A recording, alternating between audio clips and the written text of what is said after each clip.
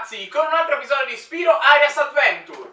È passato davvero tanto tempo dall'ultimo episodio che ho fatto, sono precisamente 20 giorni. E che cosa andremo a vedere questi, dopo questi 20 giorni in questo nuovo episodio di Spiro Arias Adventure?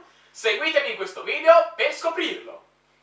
Oggi parleremo della macchina dei trucchi. La macchina dei trucchi è l'innovativa del gameplay di cui avevo accennato nell'episodio precedente, che ha a che fare con l'inserire codici, trucchi, eh, simili all'interno di Spiro Areas Adventure.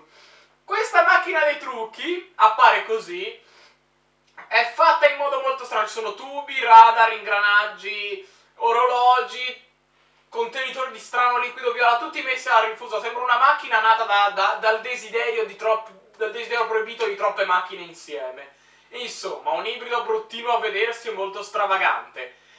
Comunque, la macchina dei trucchi servirà appunto per inserire i trucchi in Spiro, come vi ho appena detto. Questa macchina dei trucchi ce n'è una in ogni mondo ed è ben nascosta, infatti c'è scritto attenzione è nascosta. Una in ogni mondo non ci sarà nel mondo super bonus, però, cioè nel mondo super bonus, non ci sarà in Capolineo Sagato, però c'è in Arcipelago Interstellare, Foresta del Cielo, Colosseo Congelato, Lago dell'Illusione, Città dell'Antica e Legione del Re. Questa macchina serve per appunto mettere i trucchi nel gioco, ma eh, bisogna approfondire un attimo di più.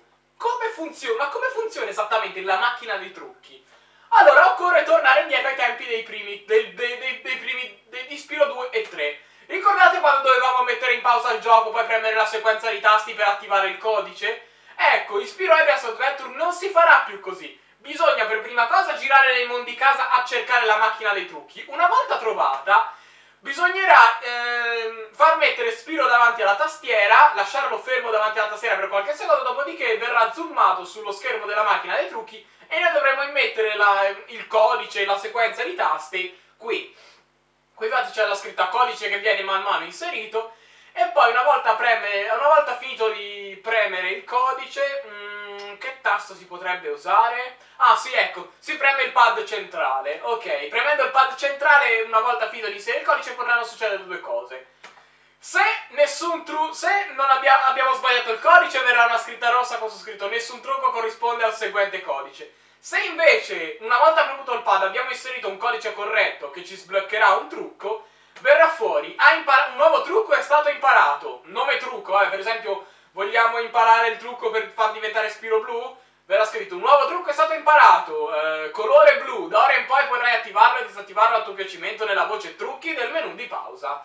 Eh, proprio così ragazzi, questa frase qui, da ora in poi puoi attivarlo e disattivarlo a tuo piacimento nella voce trucchi del menu di pausa, indica che quando Spiro in Arias Adventure mette un codice sulla macchina dei trucchi, questo trucco viene imparato in maniera permanente. Infatti, dopo aver sbloccato almeno un trucco sulla macchina dei trucchi, aprendo il menu di pausa, che nel mio gioco Spyro Arias Adventure non sarà come nella Reignite Trilogy, ma sarà come i classici Spiro, ovvero che si vede Spiro di sottofondo, da cui non ce l'ho disegnato perché mi avrebbe tenuto via tanto tempo, eh, ma che si controlla con Sparks, tra la voce opzioni e la voce aiuto si, si aprirà la voce trucchi. Cliccando su trucchi, cioè confermando la voce trucchi, avremo accesso a questo, trucchi.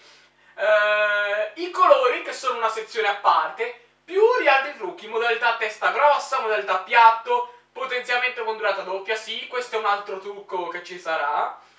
E poi eh, modalità ladri di uova allo scoperto, cioè quello che gli toglie tutte le bende e come potete vedere hanno on e off. Mettendo Spark su di loro e proprio premendo X possiamo attivarlo o disattivarlo a nostro piacimento.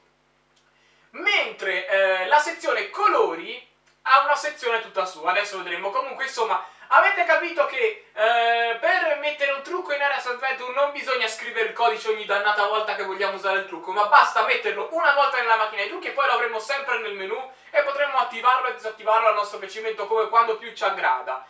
La sezione colori invece sarà fatta così. Anche per i colori non sarà necessario ridigitare il codice in menu di pausa ogni volta come nei vecchi giochi, ma la macchina dei trucchi potrà farci imparare permanentemente anche questo. Con il trucco colore possiamo eh, scegliere tra tutti questi colori disponibili, sono una, un casino ragazzi, perché sì, e poi premere X per selezionare un colore. Il colore mh, mm, attualmente selezionato e quello che vedremo a Spiro sarà contrassegnato con un segno di spunta. Per far tornare Spiro al suo colore normale, basterà semplicemente riselezionare il colore che abbiamo già selezionato. A questo punto nessun colore sarà col segno di spunto e Spiro sarà col suo eh, colore normale. Allora, i colori per Spiro qui sono molti di più come avete potuto notare. Oltre che i classici rosso, verde, giallo, blu, viola, nero, che erano quelli che si potevano mettere ehm, nella, nella, nel, nel gioco, nei giochi classici di Spiro, vabbè, viola forse era rosa, perché quando lo mettevi poi Spiro eh, diventava di un viola più acceso, quasi rosa. Ma comunque, eh, oltre ai colori classici, sì, oggi mi sto impappinando molto, ragazzi, è da tanto che non faccio un video, sto prigioniero di Azkaban, è un po' che sto a caricarlo, intanto non ho mai fatto Spiro Arrested Adventure, quindi capite un po' che mi sono arrugginito. Ma insomma, oltre che ai classici colori ci sono Manto Cometa, che è il colore um, che viene quando Spiro prende il potenziamento cometa. Manto super fiamma, che è il colore di quando Spiro prende la super fiamma. Manto ciclone, il colore di quando Spiro prende il potenziamento ciclone. Manto gelido, il, il, il, colore di quando Spiro prende il potenziamento criogeno. Manto super fiamma, ovvero Spiro uh, avrà i colori di quando ha la super fiamma, cioè sarà rosso e lampeggerà di giallo. Manto marino, cioè il colore di quando Spiro avrà il potenziamento trivella marina. Manto scuro, il potenziamento di quando Spiro avrà il potenziamento ombra. Manto della distruzione, ovvero il potenziamento di quando Spiro avrà il potenziamento apocalittico. Manto luminoso, il potenziamento di quando Spiro avrà il potenziamento super luce. E manto elettrico, il potenziamento di quando Spiro avrà il potenziamento, il potenziamento super, super tuono. Allora, forse eh, voi direte, eh ma sarà un po' un casino. No ragazzi, perché dai se spiro al potenziamento no, con questo trucco basta capire veramente se c'è con la barra accanto. Comunque ho deciso di mettere i colori dei potenziamenti come colori dei trucchi perché andiamo. Chi non ha mai desiderato giocare con Spiro che avesse il colore rosso sgargiante che lampeggia do di dorato come la, con la super fiamma sempre? O anche, non lo so, il colore di Boh, ora non mi viene in mente, ma anche tutti i colori e le fantastiche skin che ora gli vengono quando prende i potenziamenti. Ecco, con questo trucco ragazzi potete far sì che Spiro abbia l'aspetto dei potenziamenti senza necessariamente che prenda il potenziamento. Tanto, se poi il potenziamento effettivo in sé o no, lo si può vedere dalla barra accanto della durata di potenziamento. Quindi, questa è un'altra novità, molti più colori e Spiro potrà avere i colori dei potenziamenti. Bene ragazzi, per questo episodio è tutto, lo so, è stato un episodio breve, poco significativo che introduceva una piccola novità e mi immagino già la vostra reazione, 20 giorni di Spiro senza, senza Spiro Ares Adventure per questo?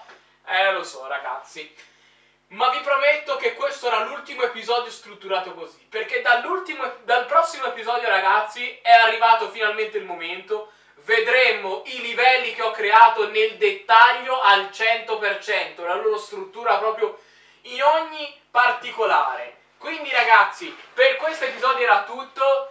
Eh, I video di introduzione alle meccaniche di gameplay nuove, eccetera, sono finiti. Noi ci rivediamo alla prossima. Ciao. Oddio, se mi viene qualche idea la metterò dopo, ma per adesso basta, ragazzi, con le introduzioni. Quindi, dal prossimo episodio vedremo i livelli in dettaglio. Ciao, spero vi sia piaciuto.